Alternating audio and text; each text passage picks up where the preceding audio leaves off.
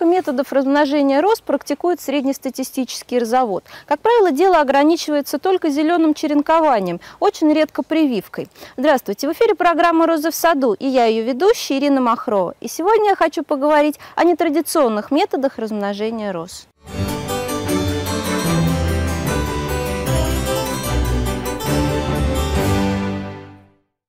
Конечно, бывает безумно обидно потерять вот такие шикарные толстые побеги, полностью зеленые, прекрасно перезимовавшие, из-за того, что розу поломала снегом. Но эти побеги э, можно пустить на черенки. Э, я хочу показать вам э, интересный нестандартный метод черенкования, подсмотренный на одном из американских форумов и благодаря одной замечательной женщине, увлеченному розоводу, живущей в Америке, ставшим известным и у нас в России. Этот метод черенкования растение применяется в Австралии в коммерческих питомниках для э, размножения подвоев. Э, хорош он тем, что позволяет получить очень большое количество черенков, э, очень маленький процент выпада. И для наших условий он хорош тем, что позволяет использовать те ветки, которые мы все равно обрезаем по весне. Ну и кроме того, он достаточно просто, не требует много времени. А весной время, как известно, очень дорого. Черенки для этого метода а, готовятся немножко не так, как а, при летнем черенковании. Побеги лучше брать потолще, толщиной как минимум с карандаш, а лучше еще толще. Вот такие а, толстенькие побеги годятся лучше всего. Дело в том, что мы черенкуем без листьев, и поэтому нужно, чтобы черенки имели достаточное количество сахаров для того, чтобы выжить и питать корни первое время. Именно поэтому также черенки мы делаем длиннее длиннее обычных, сантиметров 15-20 длиной. Нижний срез делаем, как обычно, под почкой, а верхний для того, чтобы отличить, э, ну, что это верх, а не низ, обычно где-то на расстоянии э, серединки между двумя почками.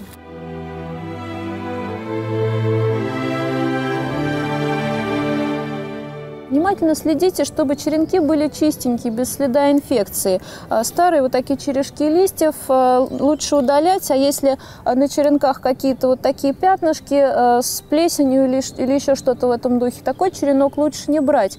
В условиях повышенной влажности, где окажутся наши черенки, это приведет к развитию плесени. Вот здесь побег погрызен мышами, поэтому он тоже не подойдет. А получившуюся у нас кучку черенков мы заворачиваем в обыкновенную газету.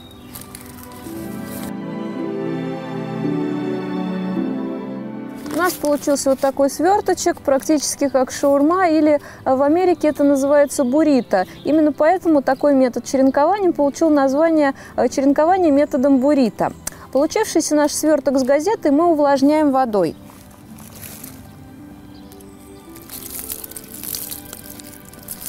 Не мочите газету слишком сильно, она должна быть лишь чуть влажной, поэтому избыток воды, если он останется, должен обязательно стечь. А после этого э, наш сверток черенков э, во влажной газете мы помещаем в обычный пакет.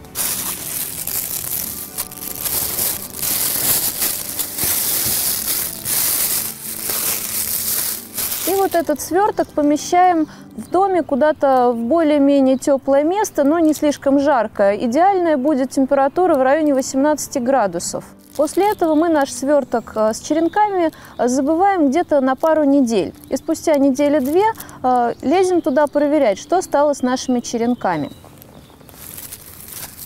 В лучшем случае уже через неделю черенки могут начать образовывать калус. Ну, вот этот сверточек я сделала неделю назад. Я думаю, что еще корней нет и калуса, возможно, тоже. Давайте посмотрим. Да, действительно, калус еще не появился, только почки пошли в рост. Газетка еще влажная, можно ее дополнительно чуть-чуть увлажнить и э, убрать обратно. Проверяйте э, ваш сверток примерно раз в неделю, и после того, как появится калус, э, либо э, после того, как уже пойдут расти молодые корешки, это будет спустя примерно э, 2-3, может быть, 4 недели, э, вы можете ваши розы посадить. Э, это будет уже э, время, когда в саду достаточно тепло, поэтому черенки можно будет посадить просто в грунт. Способ этот хорош тем, что практически не занимает времени на подготовку черенков. Кроме того, у вас будет очень маленький выпад. Если вы будете, проверяя черенки, вытаскивать все то, что загнивает или не образовывает калуса, у вас останутся только те в итоге черенки, которые гарантированно образовали корни. А тонкий момент тут пересадка этих черенков в грунт. Они могут почернеть уже после того, как образовали калус. Поэтому лучше их не сажать в комнату. Это достаточно сложно. Нужно будет использовать нижний подогрев, тепличку. В грунте черенки укореняются, как правило, лучше, чем в комнатных условиях. Сажайте их, как обычно, поглубже, чтобы наверху торчала только одна почка. И сверху ставьте какую-то мини-тепличку или обычную пластиковую бутылку.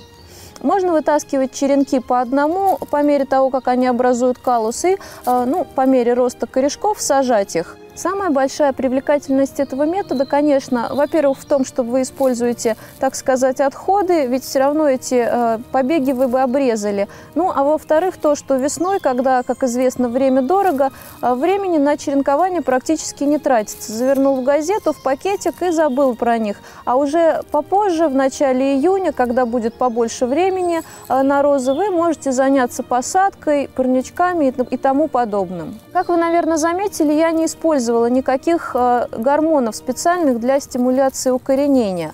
Э, на самом деле, конечно, лучше черенки предварительно замочить в растворе гетероауксина или корневина, но даже если э, у вас ничего по другой нет, попробуйте положить розы в газету просто так. А способ этот, э, по заявлениям достаточно сведущих э, розоводов американских, хорош именно тем, что позволяет укоренять э, даже те сорта роз, которые обычно очень сложно поддаются черенкованию, например, старинные.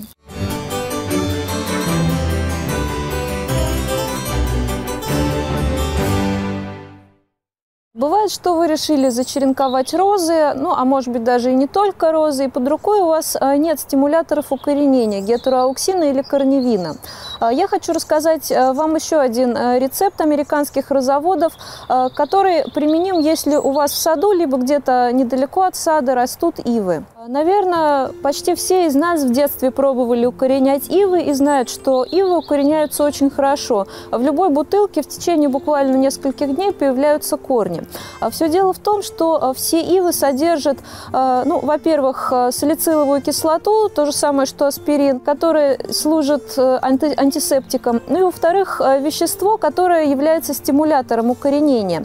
Если мы эти ивы заварим в горячей воде, то полученным настоем Э, можно пользоваться так же, как стимулятором укоренения. Итак, расскажу, как делается так называемый ивовый чай. А, мы берем э, побеги ивы молоденькие, э, желтого или зеленого цвета, коричневые не годятся. Ну, у меня на выбор две ивы, извилистая и обычная. Извилистую мне, конечно, жалко, поэтому резать буду обыкновенную.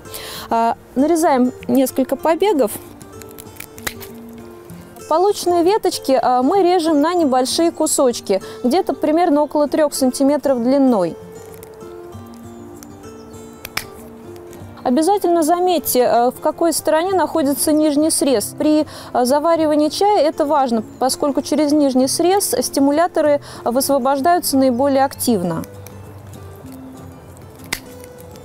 Получившиеся палочки мы будем заваривать кипятком.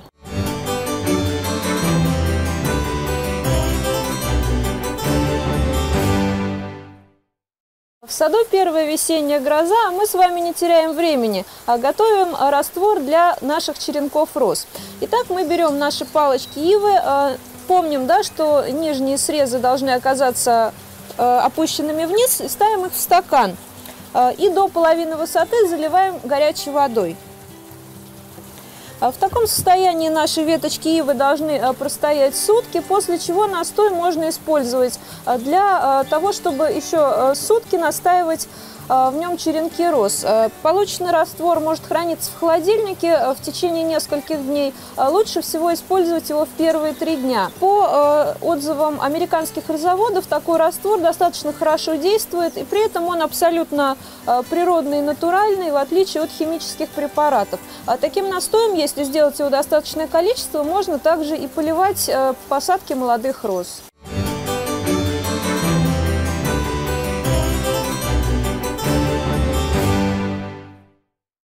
Способ размножения отводками хорошо знаком тем садоводам, которые размножают таким образом различные плодовые и декоративные кустарники. Этот способ применим и для роз, хотя почему-то применяется не так часто. Сейчас я покажу, как делается отводка. Этот способ особенно хорош для роз с гибкими побегами. Очень хорошо удается он на плетистых и почвопокровных розах. Способ размножения отводками хорош тем, что позволяет получить новое растение практически без риска выпада. Нужно просто подождать, пока побег, который мы пришпилили к земле, укоренится.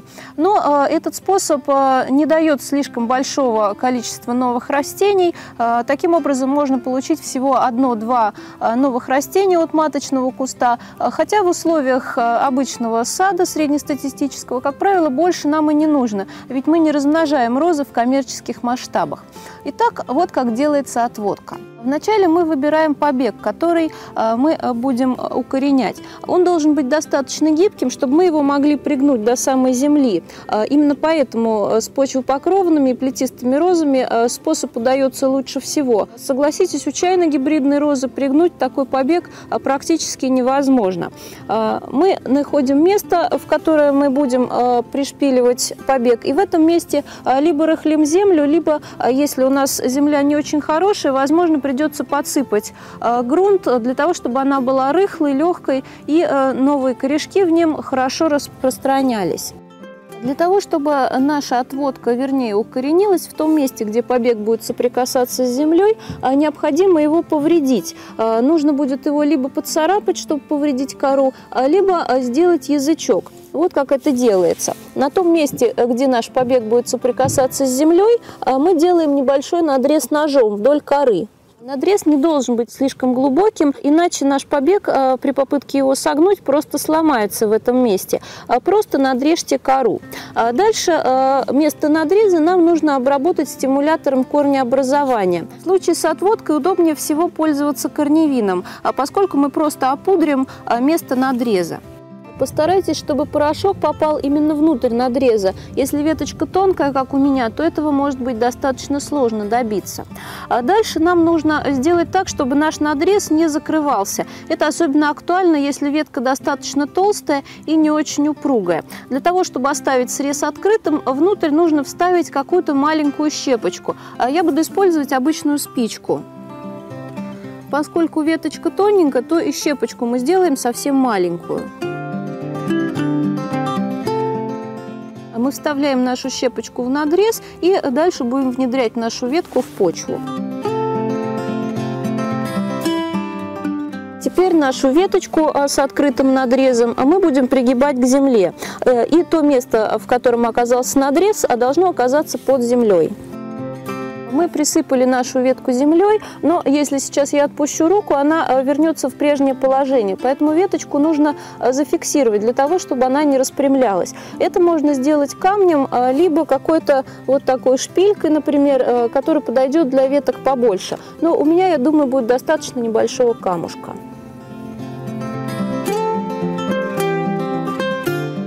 Теперь наша отводка готова и осталось только ждать результатов. А, обычно, а, если вы сделали отводку, ну, например, как сейчас я в конце июня, а, лучше подождать до следующей весны. Тогда гарантированно ветка укоренится и даст уже достаточно хорошие корешки для того, чтобы ее можно было отсаживать на постоянное место. Этот способ хорош тем, что в отличие от, например, черенкования, вы получите сразу достаточно крупное растение, ведь можно укоренить иметь не такую крошечную веточку, как я, а более гораздо объемную. И в случае э, с почвопокровной розы, например, у вас получится сразу э, маленький хорошенький кустик, в отличие от э, черенкованной розы, которую придется еще годик подождать, прежде чем она дорастет до такого же состояния.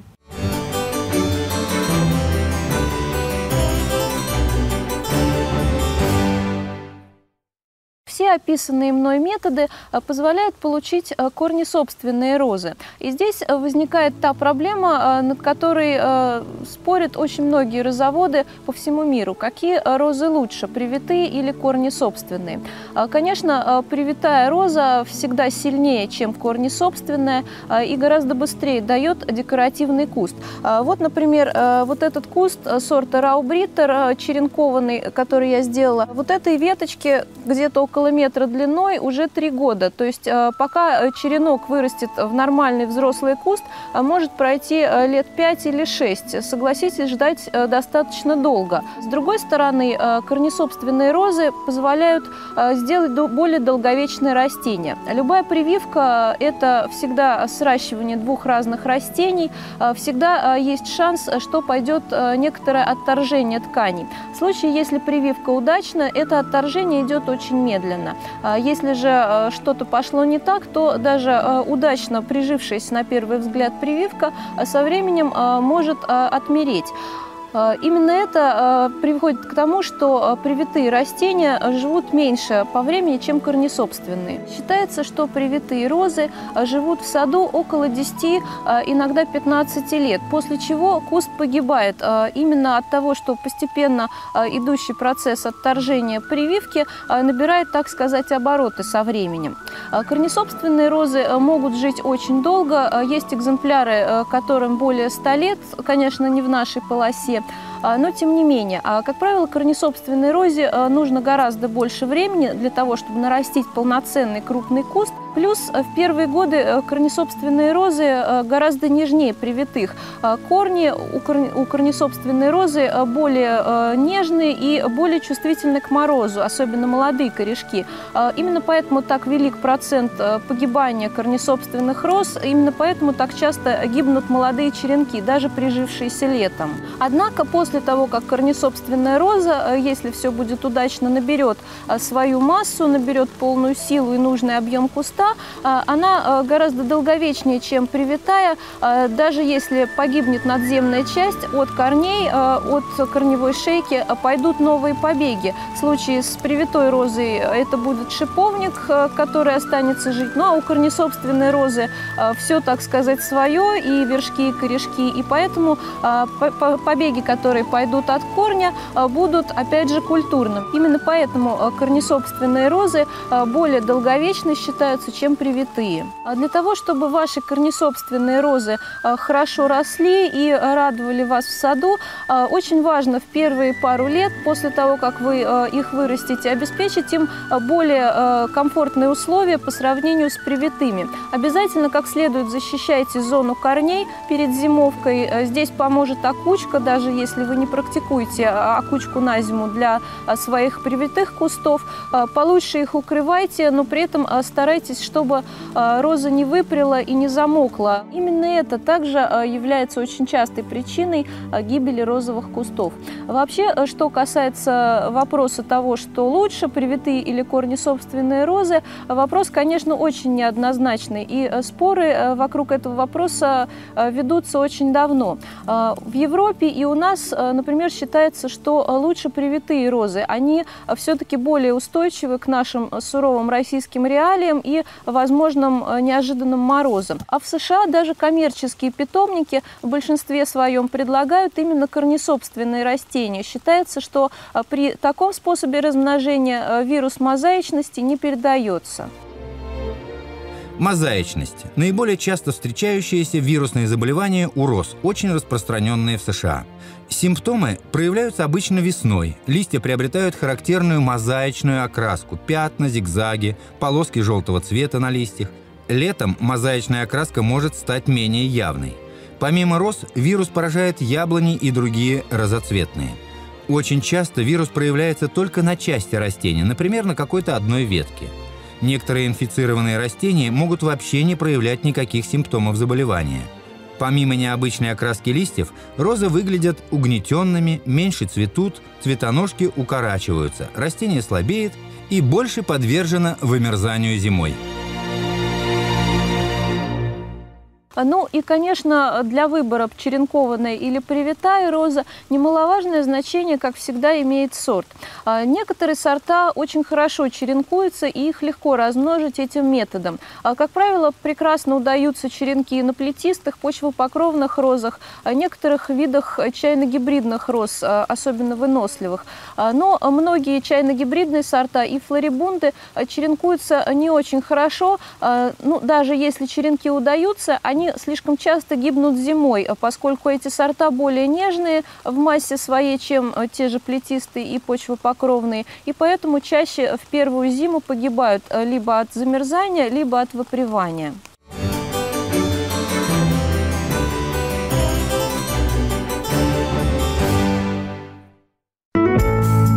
Эксперименты в собственном саду – это всегда необыкновенно увлекательно. А, пробуйте э, рассказанные новые способы размножения, и пусть роз в ваших садах будет больше. С вами была программа «Розы в саду» и я ее ведущая Ирина Махрова. Смотрите нас на телеканале «Загородная жизнь».